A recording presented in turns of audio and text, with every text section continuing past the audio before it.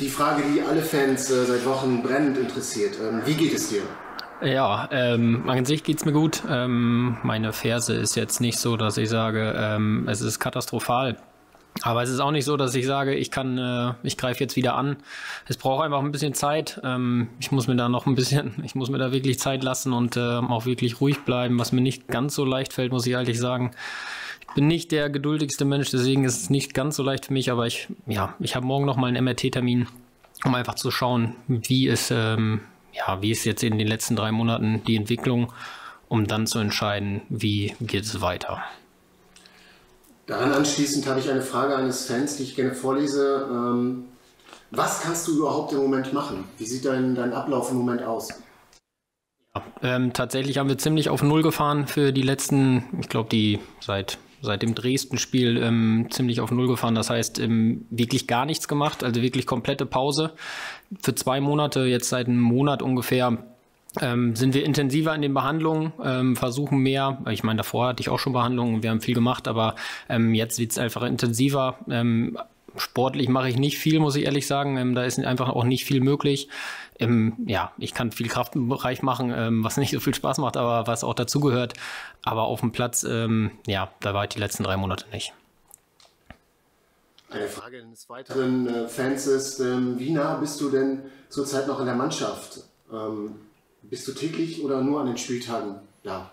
Nee, ich bin schon täglich da. Also ähm, ich versuche so gut es geht äh, immer da zu sein. Was heißt so gut es geht? Eigentlich bin ich jeden Tag da. Ähm, ja, wenn die Physiotherapeutin auch dann quasi für mich Zeit hat, äh, weil es natürlich auch so ist, dass äh, 20, 25 Spieler betreut werden müssen, so dass man sich die Zeiten dann ähm, versucht so aufzuteilen. Aber ich versuche jeden Tag eigentlich da zu sein und ähm, ja auch so nah wie möglich dran zu sein, um wirklich äh, nicht zu viel zu verlieren und auch wirklich alles mitzubekommen. Ja, was mir auch einfach persönlich sehr sehr wichtig ist. Nun ist das in der Corona-Zeit alles ja super schwierig, also mhm. auch für euch Fußballer. Ähm, wie würdest du den Teamgeist oder wie würdest du im Moment so die Stimmung innerhalb der Mannschaft beschreiben?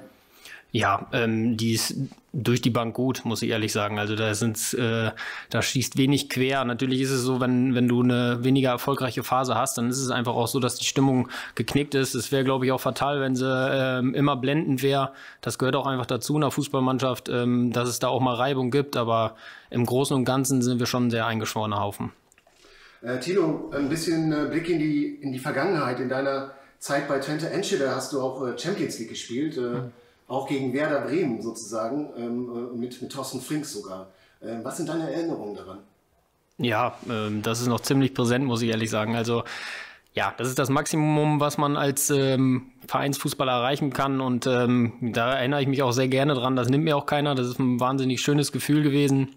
Vor allem, weil es halt auch einfach in Deutschland war, ähm, in Bremen wo tatsächlich meine ganze Familie da war, wo aus meinem Dorf auch ähm, viele Bremen-Fans sind und Dauerkarten haben, ist natürlich dann auch nochmal besonders, wenn man danach hört, dass äh, doch irgendwie, ja, dann, ja, es doch ein bisschen aufgeteilt war, für wen man eigentlich ist, ist natürlich verdammt schön gewesen. Ähm, ja, und dann auch noch zu gewinnen. Um drauf jetzt äh, mit dem Trainer im Endeffekt jetzt hier nochmal wieder zusammengeführt zu werden, ähm, ist auch spannend. Aber ja, dieses ähm, Gefühl von der Hymne zu hören, ist natürlich, ähm, ja, das vergisst du nicht so schnell. Ja, das kann ich mir gut vorstellen. Ähm, du bist hier im Emsland geboren, ja. ähm, in Anderfenne, ja. weiß, genau. Ähm, was, ist, was ist das Besondere am Emsland? Ähm, was macht das Emsland aus? Was glaubst du? Boah, es ist immer schwierig irgendwie zu ähm, beschreiben, was dann, ja, es ist Heimat, ne? Und ähm, jeder, ja, jeder weiß, was Heimat bedeutet. Für mich ist es einfach wahnsinnig schön, weil man immer nah an der Familie da ist. man hat die Freunde da, man hat ähm, ja wirklich Großeltern, meine Oma, meine Cousins, Cousinen, meine Schwestern, meine meine Eltern vor allem. Also das ist ja, das ist einfach Heimat und dieses zu erklären, was ist Heimat, ist natürlich ähm, fühlt jeder und weiß auch jeder, was es ist und das ist für mich einfach ganz was Besonderes, dann auch ähm, ja hier auch noch Fußball zu spielen. Wie kannst du am besten entspannen? Wie ich am besten entspannen kann. Jetzt, ähm, ich bin letztes Jahr im April Vater geworden und ähm, da merkst du schon, also vorher hatte ich mich oft mit, äh, mit Familienvätern, die auch mit mir in der Mannschaft ges gespielt haben, wie David, ähm, unterhalten. Er hat, hat immer gesagt, ja, Tilo, wenn du erstmal ein Kind hast und du kommst nach Hause, dann ist alles vergessen. Da habe ich immer gedacht, ja, mag wohl sein, kann ich mir aber nicht so vorstellen, weil ähm, ja, es ist nun mal Fußball ist irgendwie das Wichtigste immer gewesen und aber seitdem die Kleine dann da ist und du nach Hause kommst, ähm, ja, da brauchst du eigentlich nicht viel tun, sondern einfach die Kleine beobachten, wie sie da rumeiert. Das ist schon wahnsinnig spannend und da schalte ich am besten ab. Ähm, da fragt äh, Lukas, ähm, diesmal habt ihr es geschafft, gegen eine Spitzenmannschaft noch ein Remis herauszuholen. Wie wichtig ist das äh, für die kommenden Spiele, für den Kopf, für die Moral? Ja, ähm, klar. Es ist natürlich schon äh, auch heftig, wenn du einfach auch weißt, ähm, wenn du hinten liegst, dass du dann in der Regel oder in den letzten Spielen nie was geholt hast. Ähm, aber ich habe auch nie das Gefühl, dass das die Mannschaft großartig beschäftigt oder belastet vor allem. Und ähm, natürlich ist es wahnsinnig wichtig auch zu wissen, dass man diese Qualitäten hat, um auch wieder zurückzukommen. Und ich glaube schon, dass das einen guten Push geben kann. Es wäre heute eigentlich ein Spiel gewesen. Heute ja. wären wir jetzt eigentlich im Stadion gegen KfC Uerdingen. Das Spiel wurde abgesagt und musste verschoben werden, ähm, weil es Corona-Fälle auch in Uerdingen gab.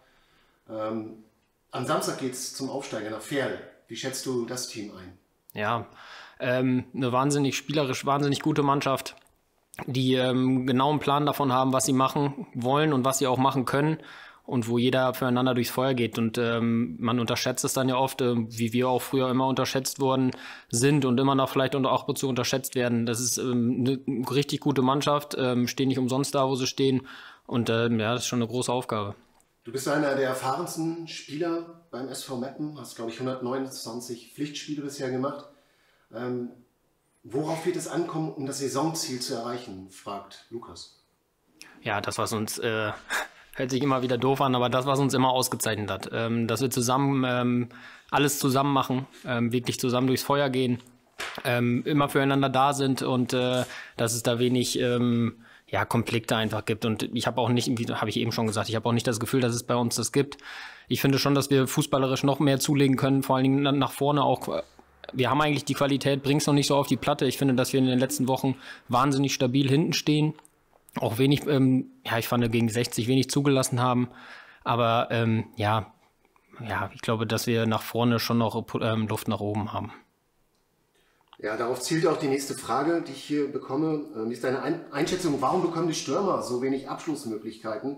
Bis zum gegnerischen 16er ist das Spiel aus der gesicherten Abwehr ja ganz passabel, sagt er. Im letzten Drittel kommt aber leider etwas wenig zustande. Was äh, meinst du, kann man ändern oder was muss man ändern? Boah. Ja, das sind immer so, ähm, ja, das ist ja eine richtige Frage, ist auch verständlich, ist natürlich aber auch wahnsinnig schwierig, ähm, das jetzt einfach so mit, mit drei, vier Sätzen zu beschreiben, woran es jetzt da genau liegt. Ne? Ähm, ich glaube schon, dass wir die Qualität auch haben, um schnell umzuschalten. Das hat uns auch immer ausgemacht, aber ähm, wir haben auch immer gute Ballbesitzphasen gehabt. Und ähm, ich glaube, dass das ein großer Faktor ist, ähm, wenn wir lange Ballbesitzphasen haben, dass wir auch mehr Ruhe ins Spiel kriegen. Und ähm, wenn wir darüber kommen, dass wir dann auch die Möglichkeiten haben. Und ich glaube, das fehlt uns vielleicht ein bisschen in letzter Zeit. Gab es einen anderen, einen ganz anderen Berufswunsch neben dem des Profifußballers bei dir? Ähm, als Kind nicht. Äh, bin ich ganz ehrlich, da gab es nur das eine und ähm, das hat sich auch eigentlich immer so gehalten. Ähm, bis seitdem ich wieder im Emsland bin und wieder zu Hause bin, da bin ich bei meinem Vater im Betrieb eingestiegen. Ähm, wir haben eine ambulante Familienhilfe, da bin ich angefangen, ähm, soziale Arbeit zu studieren. Konnte es dann durch den Aufstieg, was auch nicht äh, traurig ist, nicht weiterführen. Bin da jetzt aber immer intensiver drin, um auch meine ja, meine Planung nach meiner Karriere fortzusetzen und es ähm, geht auch dahin, dass ich da dann nach der Karriere einsteige. Wir müssen nochmal auf das Corona-Thema zurückkommen. Ähm, wir, waren heute, wir hatten heute einen Termin im Stadion. Da sagte, äh, sagte der äh, Mann, meine Güte, was ist das für eine gespenstische Stimmung hier? Mhm. Und ähm, das ist natürlich immer, wenn kein Spiel ist, sag ich mal. Aber diese Stimmung haben wir jetzt teilweise schon die ganzen letzten Monate gehabt. Ähm, wie, wie ähm, welchen Einfluss hat das für euch? Welch, wie, wie, was spürt ihr, wenn ihr, wenn ihr rausgeht? Ja, ähm, da kannst du dich auch einfach nicht dran gewöhnen. Also es ist natürlich nicht ansatzweise das, was, was es immer ausgemacht hat, hier zu spielen oder überhaupt in Stadien zu spielen. Man hat das, glaube ich, am deutlichsten gemerkt, ähm, als wir hier gegen Ferl, glaube ich, hatten wir zweieinhalbtausend oder so Zuschauer da merkst du einfach dann auch den Unterschied. Ne? Also dann kommst du raus und hast wieder Gänsehaut und jetzt ist es halt so, du bist auf dem Platz und ähm, wir müssen das annehmen und machen das auch. Aber natürlich ist es nicht, nicht das, was es, was Fußball ausmacht. Und ähm, ja, es ist schade, aber ähm, so wie in, in allen zurzeit müssen wir da durch und äh, das machen wir auch. Hat sich das Training eigentlich verändert in den letzten Wochen? Ihr hattet unheimlich viele Spiele, äh, mhm. viele englische Wochen, hohe Belastung. Äh, muss man da den Trainingsplan eigentlich komplett umstellen? Ja, ähm, Leider bin ich ja irgendwie nicht so richtig mit drin, ähm, kann das nicht ganz so beurteilen. Ähm, es ist aber natürlich so, dass ähm, wenn du nur englische Wochen hast, dass die Intensität beim Training nicht ansatzweise so hoch ist, wie wenn es äh, ein geregelter Spieltag ist oder eine geregelte Saison ist. Ähm, klar, da wird dann auch ähm, viel Wert auf Pflege und auf, äh, auf andere Sachen gelegt, aber dann ist es nicht so intensiv, ja. Nicht so intensiv und äh, das hatten wir ja gerade auch schon, ist natürlich der Kontakt zu den Fans, was ja absolut fehlt. Ja, also es fehlen ja nicht nur die, die Fans in den Stadien, sondern es, es fehlen ja auch solche Termine wie Autogrammstunden, ähm, Termine bei Sponsoren. Hm. Ähm, dann habt ihr oft äh, Sachen gemacht wie Vorlesetage, wo ihr in die Schulen geht. Ähm, das fehlt schon, oder? Dass dieser direkte Kontakt, dass man auch ein Feedback bekommt von den Leuten, ne? die dann einfach mal sagen, hey Tilo, äh, macht weiter so oder ihr müsst was verändern. Oh, ja, genau, oder das ist scheiße, ja. Aber das ist, ja, absolut, das fehlt. Und das ist das, was ich sage, wenn du ins Stadion kommst und da ist nichts, da ist kein Mensch, ähm, dann ist es okay jetzt im Moment. Es ist nicht schön, aber es ist, wir müssen da durch. Aber klar, diese Sachen fehlen einfach, ne? Aber das, das geht ja jedem so. Also ähm, keiner kann mehr irgendwo in Gruppen jemanden treffen oder ähm, hat einfach mal eine gemütliche Runde. Ähm, Natürlich fehlt einem das und man fehlt, dieses Feedback fehlt einem definitiv auch. Ähm, auch wenn auch es mal negatives Feedback ist, aber es fehlt einem definitiv. Hat diese Corona-Zeit äh, bei dir auch was verändert? Irgendwie, wir hatten selber hier in der Mannschaft hatten wir ähm, Fälle, die mhm. auch nicht so ganz unproblematisch waren. Mhm. Ähm, bekommt man dann auch mal eine andere Sicht auf diese Corona-Krise? ich weiß gar nicht, ob ich da eine andere Sicht drauf bekommen habe. Ähm, ich selber habe es schon immer ernst genommen und hab, kann die Maßnahmen auch äh, im Großen und Ganzen nachvollziehen und verstehe es auch alles, ähm, weil es natürlich nicht einfach mal so einfach ist, so eine Entscheidung auch zu treffen, alles zuzumachen. Ähm, aber es fehlt einem natürlich. Ähm, es, es, fehlt einem Leute zu treffen, Familie zu treffen, ähm, gemütlich rauszugehen. Natürlich fehlt einem das und das schränkt einen auch ein. Und äh, aber ja, ich glaube, da, das ist, fühlt im Moment jeder. Ähm, und dann müssen wir einfach auch so doof, wie es sich wieder mal anhört, halt einfach durch. Heute ist ein besonderes Datum, das ist nochmal ein ernstes Thema. Heute vor 76 Jahren haben Soldaten der Roten Armee die Konzentrationslager von Auschwitz befreit. Mindestens 1,1 Millionen Menschen wurden dort ermordet und äh, dieser Tag der Befreiung ist ja mittlerweile internationaler Holocaust-Gedenktag. Ähm, da hat sich jetzt aber auch der Fußball schon seit Jahren ähm, engagiert und macht an diesem Gedenktag mit und wir als SV Meppen natürlich auch. Wir hatten heute auch einen Termin dazu und ähm, wie wichtig ist das, dass der Fußball, der ja auch immer so ein bisschen eine Sonderstellung einnimmt, ja auch in dieser Corona-Phase, was ja auch einige kritisieren, wie wichtig ist, dass man da auch Stellung bezieht und ähm, ja, ein ja. Zeichen setzt? Wahnsinnig wichtig. Ähm, ich glaube, so ein Datum ähm, ja, da stellt es einem auf, ne? Da, da, muss man auch einfach dran erinnern. Ähm, Gerade, ich glaube, jetzt in der jetzigen Situation, was man, wenn man sieht, was in der Welt passiert oder auch in Deutschland passiert, dann ist es einfach umso wichtiger, um auf solche Sachen auch einfach mal einen Tag innezuhalten, um, um darauf auch nochmal aufmerksam, aufmerksam zu machen, weil es einfach, ja, sowas darf sich niemals wiederholen und es ist einfach, äh, ist einfach gut, dass es so einen Tag dann auch gibt, um einfach mal daran zu erinnern. Ja. Ähm, eine Frage, die, die häufig gekommen ist, ähm, ist die, ähm, es gibt ja viele Spieler, die, die vor einem Spiel so ein ganz bestimmtes Ritual ähm, haben, ne? mhm. sich den linken Stutzen zuerst anziehen oder sowas. Ähm, hast du sowas auch?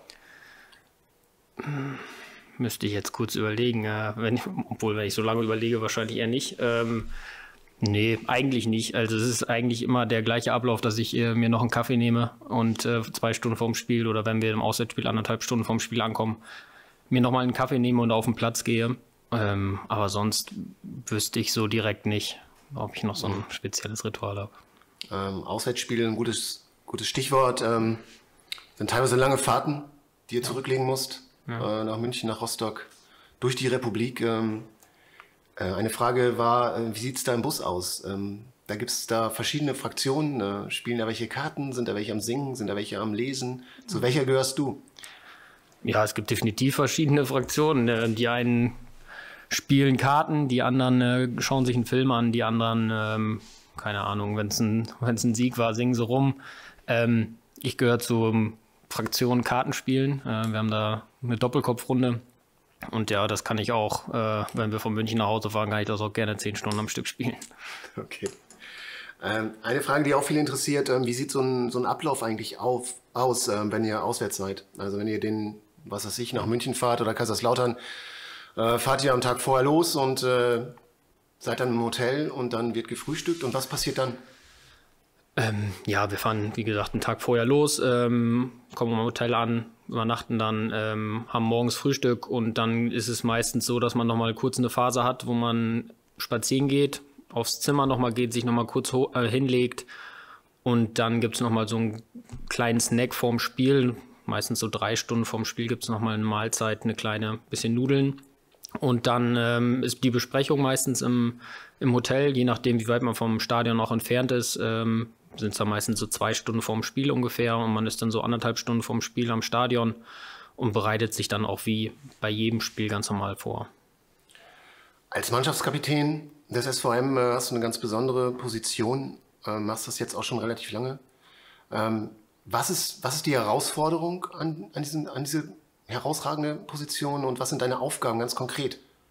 Ja, ich finde, ähm, die Herausforderungen sind eigentlich gar nicht so groß, finde ich. Also ähm, ich finde auch nicht, dass ich mir extra Aufgaben suchen muss, nur weil ich Kapitän bin. Ich glaube, dass das einfach, einfach ganz normal sein muss und authentisch auch sein muss. Und so versuche ich es auch einfach umzusetzen. Und ich versuche mir dann nicht Aufgaben zu suchen, sondern dass ich Sachen anspreche, wenn sie mich stören, dass ich Sachen anspreche, wenn es andere stört, ähm, dass es einfach in der Mannschaft funktioniert und auch Sachen, die dann nicht, nicht gut sind, auch einfach klar zu benennen. Und ich glaube, da brauche ich mir dann nicht großartig dann einen Plan zurechtlegen, was für Sachen das sind, sondern einfach allgemeine Dinge. Aber natürlich gehören auch Sachen wie, ähm, ja, wenn es mal Videos gibt, die aufgezeichnet werden müssen, wenn es mal irgendwelche kleinen ähm, Talks, Rund, Talkrunden gibt, dass ich da bin. Also, aber das sind jetzt einfach Sachen, die dann nicht direkt mit dem Fußball zu tun haben, aber auf dem Platz und neben dem äh, Platz in der Kabine sind das einfach die Sachen, die ich dann als erster vielleicht ansprechen muss, aber ich dann auch erwarte, dass andere, denen das auffällt, auch genauso machen. Eine Frage noch zum, auch zum Sportlichen. Ähm, wie schätzt du die, die Rückrunde, die jetzt gerade angefangen hat, ähm, ein? Mhm. Was glaubst du? Wird es weiterhin insgesamt in der dritten Liga so eng bleiben, wie es jetzt ist? Ich glaube schon. Tatsächlich glaube ich das wohl, weil ähm, einfach ja, es ist jetzt, ich würde nicht eine Mannschaft, die komplett oben heraussticht und es glaube auch keiner, der jetzt äh, chancenlos abgestiegen ist. Das war in den letzten Jahren auch schon anders, dass da im Winter schon fast alles geklärt ist oder ja, eine klare Tendenz zu erkennen ist. Ich glaube, dass jetzt bis zum letzten Spieltag sehr, sehr viel offen bleibt und ähm, sich das auch so durchzieht. Vielleicht eine Frage, ähm, die man oder die viele Journalisten auch in Magazinen gerne stellen. Ähm, Du musst unheimlich viele Interviews geben beim Magenta Sport, logischerweise, mhm. ähm, und auch sonst in der Zeitung und beim Hörfunk. Ähm, wenn du jetzt selber mal ein Interview machen dürftest, wen würdest du interviewen? Uh. Ähm, wahrscheinlich würde ich auch in den Sportbereich gehen. Ähm, Wäre aber nicht beim Fußball, sondern mich würde tatsächlich interessieren, ähm, ja, Tiger Woods, weil ich auch selber Golf spiele, äh, fände ich wahnsinnig interessant. Das ist ja auch nicht eine ganz so un uninteressante Lebensgeschichte. Ähm, und ich glaube auch Roger Federer, weil mich das einfach imponiert, was er, was er da die letzten Jahre abgerissen hat. Imke möchte wissen, ja, du bist ähm, Vater geworden hm. und äh, das verändert natürlich alles. Ähm, wie geht's eurer Familie? Ja, richtig gut. Ähm, das ist tatsächlich das Schönste, was es gibt auf der Welt. Ähm, schwierig zu erklären. Also ich habe es eben ja schon mal kurz gesagt, ähm, es gibt nichts Besseres, als nach einem Tag Arbeit äh, einfach nach Hause zu kommen und die Kleine kommt dir entgegengekrabbelt. Also das ist ähm, ja unbeschreiblich. Wahnsinnig schönes Gefühl, was ich äh, nie wieder missen will. Und es geht ihnen auch verdammt gut, außer die Nächte sind ab und zu kurz. ja, das ist klar.